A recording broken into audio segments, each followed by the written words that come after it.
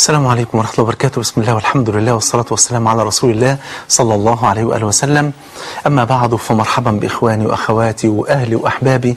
مرحبا بكم مرة أخرى مع آية وحكاية. وأسأل الله جل وعلا الذي جمعنا في الدنيا على طاعته أن يجمعنا في الآخرة مع سيد الدعاة وإمام النبيين في جنته ودار مقامته.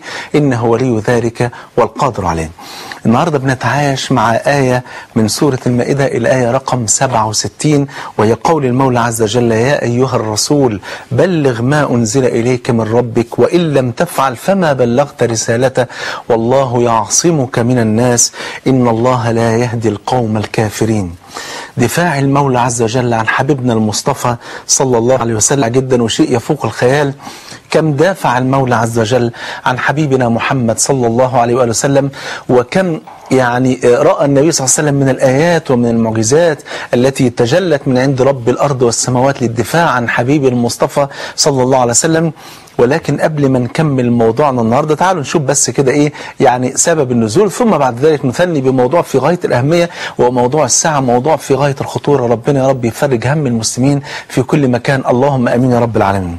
في الحديث الذي رواه ابن أبي شيبة وابن حبان بإسناد حسن عن أبي هريرة أنه قال كان رسول الله صلى الله عليه وسلم إذا نزل منزلا نظرنا إلى أعظم شجرة. يعني لما كان ينزل أي مكان نشوف أكبر شجرة وأعظم شجرة. فكنا نخليها للنبي صلى الله عليه وسلم. ينزل النبي صلى الله عليه وسلم تحت هذه الشجرة. بيقول في يوم من الأيام نزل النبي صلى الله عليه وسلم تحت الشجرة وعلق سيفه على فرع من فروع الشجرة. فجاء راجل من الأعراب من الكفار قام جه راح واخد الشجرة واخد السيف من غير ما النبي يدرى. صلى الله عليه وسلم كان نايم وراح فزع النبي عليه الصلاه والسلام أو أفزع النبي صلى الله عليه وسلم وهو نائم وقال من يمنعك مني يا محمد؟ مين اللي يحميك مني دلوقتي؟ أنا دلوقتي فوق دماغك أهو والسيف في إيديا وأنت نايم دلوقتي. فإذا بالحبيب المصطفى صلى الله عليه وسلم الواثق في موعود ربي اللي عنده يقين وتوكل يعني يملأ الكون كله صلى الله عليه وسلم وإذا به يقول صلى الله عليه وسلم بكلمة واحدة قال الله. من يمنعك مني يا محمد؟ قال الله. فما كان من الرجل إلا أنه ارتجف من قوة يقين وثقة وثبات النبي صلى الله عليه وسلم فوقع السيف من يده فأخذه النبي صلى الله عليه وسلم فقال له وأنت من يمنعك مني الآن؟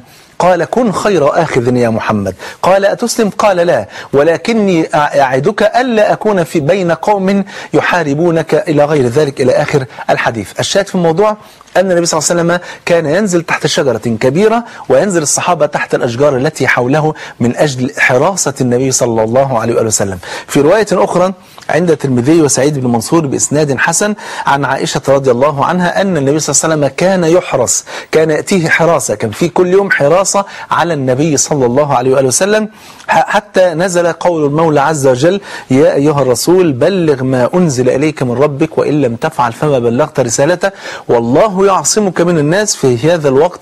أخرج النبي رأسه إلى الصحابة وقال أيها الناس انصرفوا فقد عصمني الله عز وجل من الناس. الحقيقة عايز أدخل من الموضوع دوت ومن الآية ديت لمدخل في غاية الأهمية. مدخل مهم جدا جدا وخطير جدا جدا. أرجو أن إحنا ننتبه ليه ليلادي الله يبارك فيكم. إخواننا في سوريا إخواننا في سوريا المذابح. وإحنا دلوقتي آه ليلة 21 كل عام وأنتم بخير. دخلنا على العشر الأواخر. دخلنا على ليالي فيها ليلة القدر.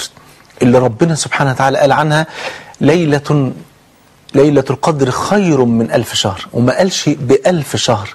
خير وجعلها في صيغة النكرة من أجل تعظيم وتفخيم هذه الليلة. لأن ربنا سبحانه وتعالى كان ممكن يقول ليلة القدر خير من مليون شهر لكن لغة المليون ما كانش يعرفها العرب وقت النبي صلى الله عليه وسلم كان آخر رقم يعرفوه هو رقم الألف. والدليل إن كان لما يبقى واحد عنده مليون درام دينار أو مليون درهم كان يقول عندي ألف ألف. لو عنده 2 مليون يقول عندي ألفي ألف.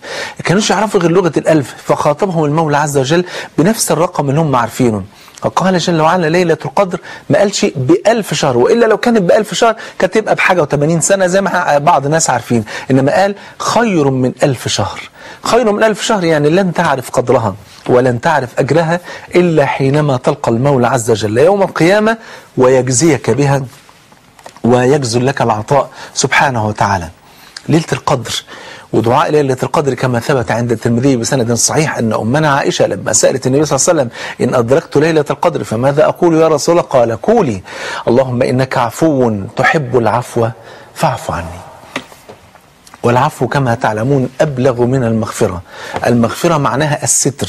ولذلك في حديث النجوى أن المولى عز وجل يدني عبده المؤمن يوم القيامة كما في الصحيح ويضع عليه كنفه ويستره ويقول عبدي قد فعلت كذا وكذا في يوم كذا وكذا فيقول بلى يا ربي حتى إذا ظن العبد أنه قد هلك وأنه من أهل النار وإذا بالعزيز الغفار يقول له إني قد سترتها عليك في الدنيا مع أن العبد ده تاب من الذنوب ديت إني قد سترتها عليك في الدنيا وأنا اليوم أغفرها لك خذ كتابك بيمينك وادخل الجنة. أما العفو فالعفو أبلغ من المغفرة العفو إن الذنب يفضل موجود في الصحيفة لكن يتكتب جنبه إن العبد تاب منه. فلما يجي يوم القيامة يتحاسب عليه لكن لا يعاقب عليه.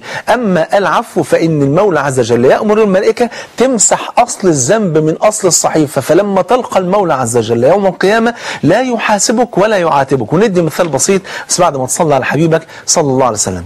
أن آآ آآ يعني تخيلنا كده لو إني مدير شركة وأرسل موظف من الموظفين بتوعه في مهمة خاصة بالشركة. خاصة للشركه 5 مليون دولار. فقالوا له تاني يوم تعالى ده المدير عايز يشوفك. راح عشان يشوف المدير ومنتظر طبعا عقوبة. فإذا بالمدير بيقول له مش أنت يعني كلفتك بالعملية الفلانية وخسرت الشركة 5 مليون؟ طيب أنا مسامحك المرة دي لأن ليك ماضي كويس جدا جدا لكن الورق ده هيفضل في درج العمر كله عشان ما انساش ابدا الجريمة اللي أنت ارتكبتها في حق الشركة. ده اسمه إيه؟ اسمه مغفرة. أنا غفرت لك مش هعاقبك لكن إيه؟ الذنب ما زال موجود في الورقه اهو إنما لو عفى عنه يقول له شوف أنت ليك تاريخ طويل جدا وأخطأت الخطأ الكبير ده أنا هعفو عنك وأدي الورقة قطعتها أو خد أنت احرقها بنفسك. خلاص ما فيش أي حاجة ونبدأ صفحة بيضاء. هو ده العفو ده الفرق بين العفو وبين المغفرة.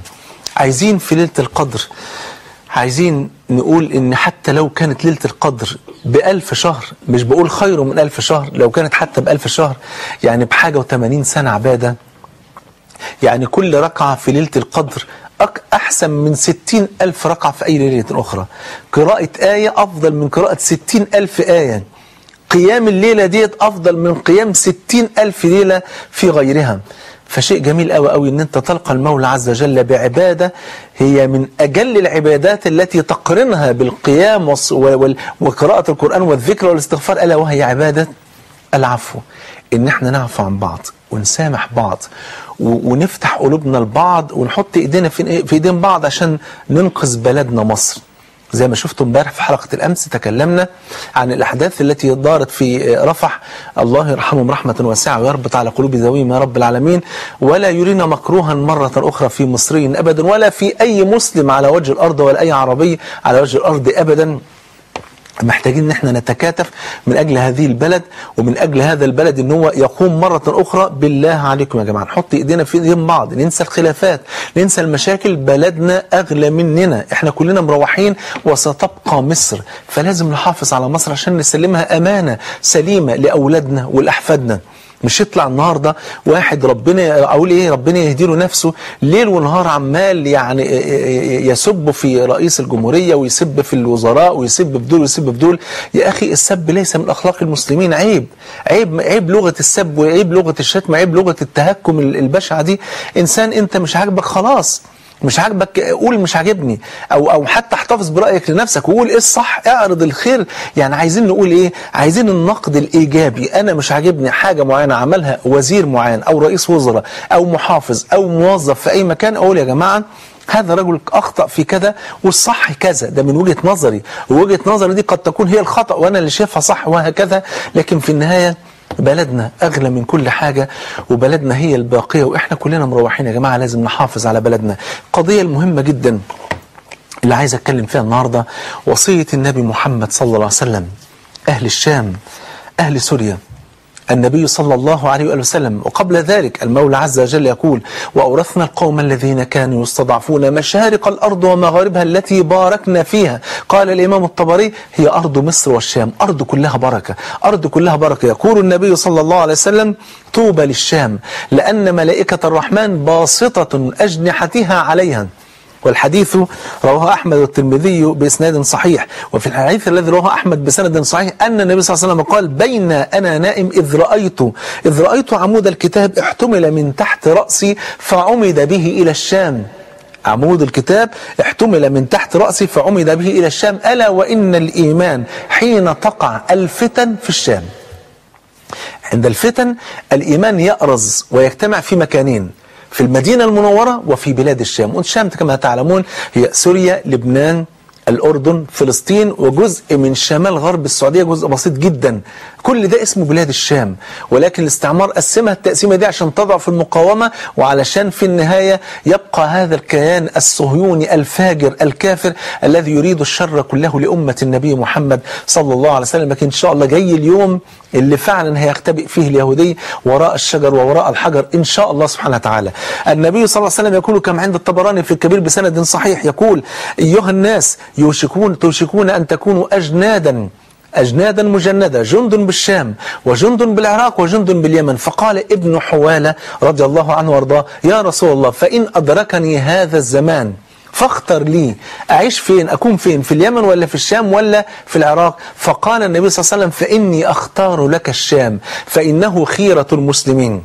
خد بالك إنه خيرة المسلمين وصفوة الله من بلادي يجتبي إليه صفوته من خلقه فإن لم ت... سبحانك يا رب شوف بقى شوف الكلام. فإن لم تفعل فعليك باليمن فإن الله قد تكفل لي بالشام وأهله شوف كلمة النبي فإن الله قد تكفل لي بالشام وأهلي. شوف قبلها قال إيه؟ قال فإنه خيرة المسلمين. خيرة في الأرض وخيرة في الناس الذين يعيشون على تلك الأرض فإنه خيرة المسلمين. وصفوة الله من خلق وصفوة الله من بلادي يجتبي إليها صفوته من خلقه يقول النبي صلى الله عليه وسلم كما في الحديث الذي رواه البخاري اللهم بارك لنا في شامنا اللهم بارك لنا في يمننا. فيقول صحابي وفي نجدنا يا رسول الله. ثلاث مرات اللهم بارك لنا في شامنا اللهم بارك لنا في يمننا. وفي الآخر خالص قال وفي نجدنا. الشاهد في الموضوع أن النبي صلى الله عليه وسلم يدعو بالبركة لأهل الشام ويشهد لهم ويشهد لهم بأن الإيمان يأرز إلى بلاد الشام ويشهد لهم ويدعو لهم صلى الله عليه وسلم ويقول طوبى للشام لأن ملائكة الرحمن باسطة أجنحتها على بلاد الشام. ملائكة الرحمن باسطة أجنحتها على بلاد الشام كما أخبر النبي صلى الله عليه وآله وسلم. وفوق ده كله يقول النبي صلى الله عليه وسلم فإنه خيرة المسلمين يعني خيرة المسلمين لأن هم اللي بيقتلوا وهم اللي بيذبحوا مصداقا لقول النبي صلى الله عليه وسلم كما في أشراط الساعة الصغرى لا تقوم الساعة حتى يأخذ الله شريطته من أهل الأرض. قالوا وما شريطته يا رسول الله؟ قال أهل الخير والصلاح. أهل الخير والصلاح. وليس معنى ذلك أن أهل الخير والصلاح مش موجودين غير في الشام بس موجودين في كل بلاد العالم. لكن تتركز أكثر أعداد من أهل الخير ومن أهل الصلاح في بلاد الشام كما أخبر النبي صلى الله عليه وسلم. فالآن هؤلاء يقتلون. والنبي صلى الله عليه وسلم حتى رغم إن هو ما عاش في بلاد الشام إلا إن ربنا سبحانه وتعالى إكراما للنبي صلى الله عليه وسلم وإكراما لأهل الشام جعل معراج النبي صلى الله عليه وسلم من بلاد الشام. وسيدنا عيسى عليه السلام في آخر الزمان كعلامة من علامات الساعة الكبرى العشر ينزل صلى الله ينزل عليه السلام شرق دمشق ويقتل الدجال ثم بعد ذلك يكون القضاء على يأجوج ومأجوج بقدرة المولى عز وجل. شيء عجيب جدا جدا إن أنت ترى المذابح كل يوم. كل يوم أسر بتذبح وبتقتل على مرأى ومسمع من العالم كل سنة ونص يا مسلمين. والأمم المتحدة بتشجب وبتستنكر وزعلانة ومتضايقة ولسه هنفكر ولسه هنعمل وهنجتمع إن شاء الله بعد أسبوع. وطب وليه هو نقض العهد وليه وليه؟ سبحان الملك. لما العراق غزت الكويت ونحن نرفض أن تجير أي دولة إسلامية على أي دولة أخرى. لما غزت العراق الكويت في التسعينات أمريكا ماذا صنعت؟ لأن لها مصالح في الكويت أبار البترول. ماذا صنعت أمريكا في الوقت ده؟ جمعت عاصفة الصحراء 28 دولة بتدك في العراق لحد ما دمرت العراق. سبحان الملك. كل ده ليه؟ علشان دولة غزت دولة في مصالح لأمريكا في الدولة الثانية ديت. وإحنا لا نتمنى طبعا لا غزو العراق للكويت ولا غزو أي دولة لأي دولة إسلامية. نتمنى السلامه لكل بلاد المسلمين. لكن بقول لمجرد إن أمريكا كان ليها مصلحة في الوقت دوت كرست 28 دولة اتصرف عليها ساعتها مليارات والله العظيم مليارات علشان بحجه تحرير الكويت من العراق. طب أنت بتحرر الكويت من العراق؟ يبقى اذا الضرب هيكون فين؟ الضرب هيكون للعراقيين اللي موجودين في الكويت. لا ده كان بيضرب دولة العراق كان بيدك العراق وبعد كده احتل العراق. خد بالك؟ كل ده عشان مصلحة. إنما سوريا عشان أمريكا مش من مصلحتها إنها تستقر لأن بكل بكل بساطة يا جماعة لو استقرت سوريا واستقرت مصر لا بقاء للقناة للكيان الصهيوني وده يتعب أمريكا جدا لأن أمريكا مخنوقة من اللوب الصهيوني وليه جمايل في علاقة وهي ما تعرفش تعيش من غيره أصلا. وبالتالي هم مش عايزين أي صلاح ولا أي فلاح ولا أي راحة لأهل سوريا. تعالوا نكمل ولكن بعد فاصل قصير. صلى على حبيبك. نعرف المعنى السلام عليكم ورحمة الله وبركاته. بسم الله والحمد لله والصلاة والسلام على رسول الله صلى الله عليه وآله وسلم. فمحتاجين يا إخواني ربنا يبارك في أعماركم يا رب ويحفظكم من كل سوء. محتاجين في الأيام الفضلة ديت العشر الأواخر من رمضان نكثف جهودنا ودعائنا لإخواننا في سوريا. الله يبارك فيكم. مش معقولة يعني يعني النهاردة النهاردة أغلب حكام المسلمين خذلوا هذا البلد العظيم. خذلوا إخواننا في سوريا. لحد قادر يتحرك ولا حد قادر يعمل حاجة. والنهاردة إيران المجرمة. إيران وحزب الله والصين وروسيا والكل واقف ضد هذا الشعب الأعزل. والكل واقف يتفرج فلا أقل من الدعاء. ربنا سبحانه وتعالى أكبر من الكل. سبحانه وتعالى. لما كان في يوم من الأيام في أحداث ال- الخليج في يوم من الأيام واحد رجل بدوي كويتي بسيط جدا جدا بيسأل واحد فبيقول له بيقول له ده الطيارة الشبح بتعمل وبتسوي و و قال له يا الطيارة الشبح خطيرة للدرجة دي؟ قال له طبعا دي خطيرة جدا. قال له طب هي فوق ولا ربنا اللي فوق؟ قال له ربنا اللي فوق. قال له خلاص ما دام ربنا فوق الكل إن شاء الله ربنا هينصرنا. فالشاهد في الموضوع ان إن ربنا يكرمنا ويكرمكم. محتاجين نحس بآلام الناس ديت فعلا بجد من قلوبنا. يا سوريا معذرة ومثلي ليس يعتذر. عار علي السمع والبصر وأنا اللهيب وقادتي المطر. والأمر ما أمروا فمتى سوف أشتعل فمتى سوف أشتعل؟ شوف سبحان الملك يعني من كتر المجازر كنت بالأمس في إحدى القنوات السورية اللي تبع جيش الثوار شيء عجيب جدا من المذابح التي تشن وترتكب على أرض سوريا لأطفال وانتهاكات نساء وقتل رجال كبار وهدم مساجد وهدم كنائس وهدم بيوت شيء فوق الخيال. حاجة والله العظيم لا تخطر على قلب بشر. طفلة صغيرة فقدت أهلها كلهم أس أسرتها كلها ماتوا فخدتها أسرة تانية. عاشت معاهم لمدة شهرين الأسرة التانية كلها ماتت. فبقيت الطفلة وحيدة مش عارفة تروح فين ووصلت لمرحلة ذهول. لا تستطيع أن تتكلم. كأني بلسان حال كل واحد على أرض سوريا يقول لمن نشكو مآسينا؟ لمن نشكو مآسينا ومن يسدي لشكوانا ويجدينا؟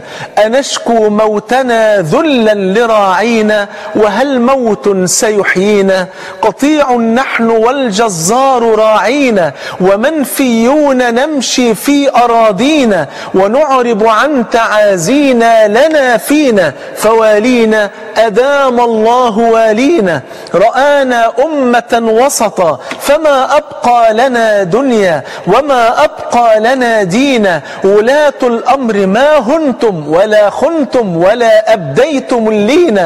جزاكم ربنا خيرا. سحقتم أنف أمريكا فلم تنقل سفارتها. ولو نقلت معاذ الله لو نقلت لضيعنا فلسطين. ولاة الأمر هذا النصر يكفيكم ويكفينا. تهانينا. شيء عجيب جدا. عجيب جدا كمية التبلد اللي موجودة عند بعض المسؤولين إن كأن البلد دي لها دولة إسلامية ولا كأن الناس دي مسلمين ولا كأن النساء دول نساء مسلمين. شيء عجيب جدا. أذكر وأنا والله العظيم في التسعينات وكنت عايش ساعتها في السعودية أذكر إن سمعت شريط لشيخنا الحبيب الشيخ أحمد القطان ربنا يحفظه ويطول في عمره. شريط عبارة عن رسالة كانت واصلة له من بعض الأخوات من سوريا من سجون سوريا. رسالة بمختصرها بيقولوا له نسألك بالله أن تخبر إخواننا المسلمين أن يأتوا إلينا ويهدموا علينا السجون فقد امتلأت أحشاؤنا بأطفال من الحرام بسبب اغتصاب هؤلاء الجنود لنا في سجون سوريا. شيء فوق الخيال شيء قمة في يعني أنا مش قادر أقول. والله العظيم باستقراء التاريخ على مدى العمر كله ما رأينا إنسانا في إجرام لا حافظ الأسد ولا بشار الأسد. حافظ الأسد تكلمنا عن المجازر اللي عملها أهل سوريا. يكفي مجزرة حمال اللي عملها سنة 82 30 ألف موحد قتلهم في 27 يوم. 30 ألف موحد. يا راجل ده الواحد والله العظيم أقسم بالله لو ماشي بعربيته وخبط قطة أقسم بالله ما يعرف ينام. كيف ينام مثل هؤلاء المجرمين؟ واحد زي بشار. قاتل لحد الآن خد بالك من حاجة الإحصائية دي ما تجيش والله. وبحلف لك بالله ما تيجي واحد على العشرين من اللي بيحصل الحقيقة. في قتل في أي شارع من شوارع حلب. هل الكاميرات هتوصل لكل شارع؟ هل هتوصل لكل الزقاق؟ هل هتوصل لكل بيت؟ طيب واللي إحنا وجدناهم في الشارع موجودين أكتر من 25 ألف واحد شهيد اسال الله عز وجل أن يجعلهم في زمرة الشهداء. طب واللي ماتوا تحت الهدم وتحت البيوت التي آه، يعني آه، آه، سقطت من أنقاض ال- ال- ال- الرمي بالطيارات أو بالمدافع أو الهون أو غير ذلك دول يتعدوا إزاي؟ دول ناس خلاص اختلطت الدماء واللحوم والأشلاء بالأركان البيت بالحوائط بال- بالأخشاب بغير ذلك. محدش عارف يوصل لهم خالص بالمرة. أعداد لا تخطر على قلب بشر يوميا. أقل عدد بتسمعه النهاردة 150 و160 و200 قتيل أو شهيد في أرض سوريا. محتاجين نتحرك. وعايز أقول لكل مسلم والله لا عذر لك أمام ربي سبحانه وتعالى. أقل شيء إحنا في العشر الأواخر. أقل شيء الدعاء. وهو مش قليل. ويعني الدعاء كما قال النبي صلى الله عليه وسلم الدعاء هو العبادة. وقال ربكم ادعوني أستجب لكم. إن الذين يستكبرون ما قالش عن عن دعائي قال عن عبادتي. فعلق النبي صلى الله عليه وسلم وقال الدعاء هو العبادة. وكلام الأحباب والإخوان من أهل سوريا وبخاصة الجيش الحر في سوريا وخاصة الناس الأفاضل المدنيين الذين يعيشون في سوريا اثبتوا. اثبتوا إن شاء الله ربنا هينصركم والنصر قادم. وأنا أعلم أنكم تعيشون الآن أشد ساعات الليل سوادا. لكن البشرى أن أشد ساعات الليل سوادا هي أقرب لحظة لضوء الفجر. إن شاء الله تعيدوا السنة دي وقد نجحت الثورة. إن شاء الله تعيدوا السنة دي إن شاء الله بفضل ربي أولا ثم بدعائكم ودعاء المسلمين في كل أقطار الأرض. إن شاء الله تعيدوا السنة دي ويكون بشار. شفنا في آية هو وكل من معه هو وأعوانه وهو وإيران. ربنا يورينا فيها آية من آياته سبحانه وتعالى. وحزب الشيطان الذي يسمى حزب الله والصين اللي بقول وأدين الله سبحانه وتعالى وأفتي بهذه الفتوى بقول والله لا عذر لمسلم أنه يتعامل من النهاردة في أي سلعة تبع الصين لأن هؤلاء يأخذون أموال المسلمين ويقتلون بها إخواننا في سوريا بل وفي شمال الصين. 75 مليون صيني بيعذبوا من بطش هذا النظام الصيني الكافر. محتاجين نفهم يا جماعة واقعنا. ما ينفعش مش عشان أنا محتاج مج من الصين أدي فلوس لناس يقتلوا بها إخواني. مش مهم المج اشتري حاجة محلية وربنا يكرمنا ويبارك. لكن عشان نسيب إخواننا يتقتلوا كمان نعين عليهم وإن استنصركم فعليكم النصر مش فعليكم الخذلان. إزاي إن هم يستنصرون وإحنا نخذلهم وفوق ده كله كمان نكون عونا لأعدائهم عليهم؟ ده يعني ده أمر بجد بجد هنتسأل عنه أمام الله يوم القيامة. بقول لإخواننا في سوريا اصبروا وإن شاء الله واثبتوا وربنا ينصركم والله العظيم النصر قادم. وإن شاء الله بشار إلى زوال ونظام بشار إلى زوال وكل من حاد الله ورسوله إلى زوال وستدين الأرض كلها لله. والله لن يبقى على الأرض إلا موحد. وهذا بوعد الصادق الذي لا ينطق عن الهوى صلى الله عليه وسلم حينما قال ولن يترك الله بيت مضر ولا بيت وابر إلا أدخله الله هذا الدين بعز عزيز أو بذل ذليل عزا يعز الله به الإسلام وأهله وذلا يذل الله به الكفر وأهله. فعليكم يا أهل سوريا بالدعاء. النبي صلى الله عليه وسلم انتصر في غزوة بدر بالدعاء بعد فضل الله سبحانه وتعالى. في غزوة الأحزاب بالدعاء. قتيبة بن مسلم لما راح يفتح بلاد كابل قال ابحثوا والتمسوا لي محمد بن واسع رجل من الصالحين. فقالوا وجدناه واقفا رافعا يديه إلى السماء يدعو. قال والله أبشروا بالنصر. فوالله لأصبعي محمد بن واسع وهي تشير إلى السماء أحب إلي من مئة ألف شاب طرير ومن مئة ألف سيف شهير. الدعاء. الدعاء ينفع مما نزل. ومما لم ينزل. كما قال النبي صلى الله عليه وسلم يبقى رقم واحد الدعاء تاني حاجة الصيام يا أهل سوريا. صوم والص- والص- والصائم له دعوات مستجابة. ادعوا ربنا أن يفرج همكم وكل مسلم على وجه الأرض. إن لم يدعو لكم فهو آثم. إن لم يدعو لكم فهو آثم. شيء عجيب جدا أن أنا أبخل على أخويا حتى بالدعاء. يعني زي ما بدعو لنفسي أدعو لأخويا بل أنا بسبق دعائي لاخواني من أهل سوريا أكثر ما بدعي لنفسي ويعلم ربي هذا والله العظيم أدعو لهم يمكن أكثر مما أدعو لنفسي ولا لأولادي. لهم الآن بحاجة إلى هذا الدعاء فمحتاجين نتحمل هذه المسؤولية. يعني دي دي مسؤولية دي أمانة في عنقنا أنا والله الود ودي إن أنا لا أتكلم في أي مسائل علمية وأفضل ليل ونهار أتكلم عن سوريا لحد ما ربنا ينجي هذا الشعب الأعزل. إن حرام لابد إنهم يشعروا بينا وان إحنا نشعر بيهم. يبقى الدعاء الصيام القيام يا أهل سوريا. قيام الليل ولا أجل من بعد الصلاة المفروضة من قيام الليل بين يدي الله سبحانه وتعالى والنبي صلى الله عليه وسلم يخبر كما في الحديث الذي رواه مسلم أن النبي صلى الله عليه وسلم قال ينزل ربنا جل وعلا كل ليلة إلى السماء الدنيا فيقول هل من هل من هل سبحانك رب هل من سائر يدعوني فأعطيه هل من داع يدعوني فأستجيب له؟ هل من تائب يس أو هل من مستغفر يستغفرني فأغفر له ويظل الحق جل وعلا يكرر تلك الأسئلة الثلاث إلى أن يطلع الصبح. قادر ربنا والله العظيم يا أهل سوريا في لحظة واحدة. يمحق ويبيد بشار وأعوانه وإيران وحزب الله وروسيا والصين. أقسم بالله في أقل من كن فيكون. لكنه ابتلاء وامتحان. ليصطفي المولى عز وجل منكم شهداء وليثبت الباقون على دين الله سبحانه وتعالى. ومن لم يكن تائبا فليتب إلى الله سبحانه وتعالى. ومن كان عقا لوالديه فليعد. ومن كان يفعل كذا فلينتهي. من أجل عودة الأمة مرة أخرى كما حدث في البوسنة والهرسك كتير منهم كانوا بعاد عن الإسلام. بل كتير من, من بنات البوسنة والهرسك كانوا متزوجين من رجال نصارى. ولا يعرفون حكم الشرع. فلما حدث المذبحة التي جاءت من الصرب الملعونين فأفاق الناس وفهموا إيه اللي بيحصل؟ ده ده إسلام وده دين وده عقيدة. ابتدوا يسألوا عن دينهم ولاول مرة يظهر الحجاب في البوسنة والهرسك والأول مرة نلاقي مساجد وناس بتصلي والأول مرة نلاقي علماء وناس بتذكر الناس بالله والأول مرة تجد الأمة تعود إلى ربنا سبحانه وتعالى. فالله عز وجل يحيي قلوب أناس على أشلاء أناس يكونون شهداء. أحياء يشفعون لهؤلاء الناس. حكمه من عند ربنا سبحانه وتعالى. حدش في الدنيا أحن من ربنا سبحانه وتعالى. مع كل الصورة الدموية اللي إحنا شايفينها دي كلها لابد أن نتذكر قول النبي صلى الله عليه وسلم. والله لله أرحم بكم من رحمة الأم بطفلها الرضيع يا كل اللي بيحصل في سوريا ده رحمة من ربنا والله العظيم رحمة من ربنا سبحانه وتعالى. ناس ربنا بيرزقها الشهادة عشان تخش الجنة وكل واحد يشفع لسبعين واحد.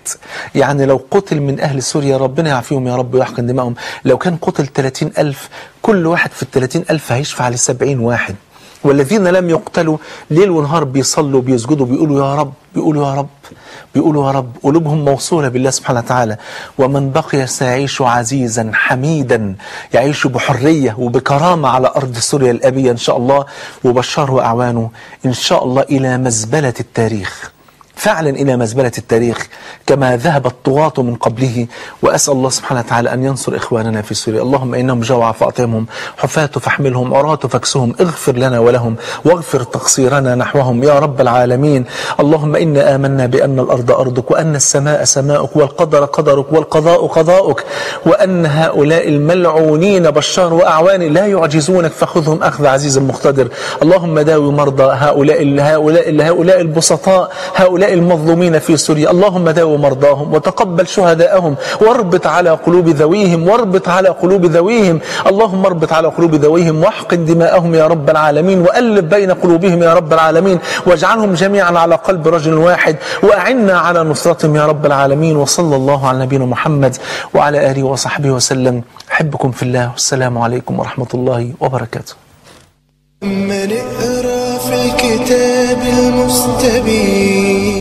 لما نقرا في الكتاب المستبين.